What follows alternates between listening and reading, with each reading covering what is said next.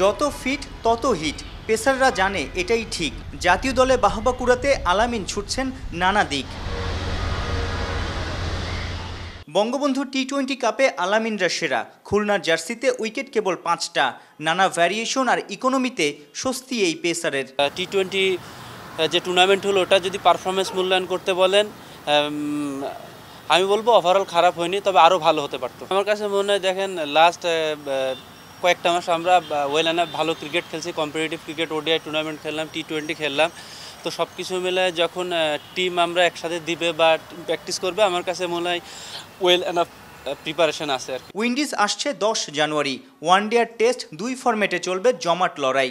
ঘরোয়া আসরে পেস বোলারদের দাপট ভাবনায় ফেলছে বিসিবিকে। টাইগারদের শক্তির জায়গায় স্পিন ছেড়ে কি পেস বান্ধব উইকেট করা ঠিক হবে ক্রিকেট বোর্ডের? কি ভাবছেন আলামিন? উইকেট স্পিনিং হবে না পেস বোলিং হবে এটা আসলে টিম ম্যানেজমেন্টের ব্যাপার।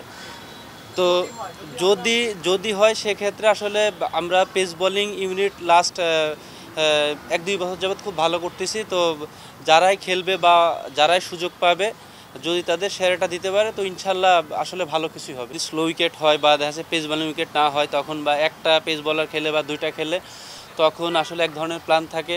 তখন হয়তো বা স্পিনরা স্পিনাররা অ্যাটাক করে, তখন আমাদের ডিফেন্সিভ যাইতে হয়।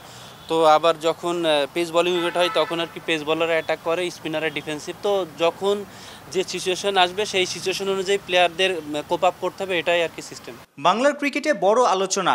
মাশরাফিকে কি রাখা হচ্ছে উইন্ডিজ সিরিজে? বঙ্গবন্ধু কাপে ম্যাচকে কাছ থেকে দেখেছেন। আলামিন জানেন অভিজ্ঞতার মূল্য কত।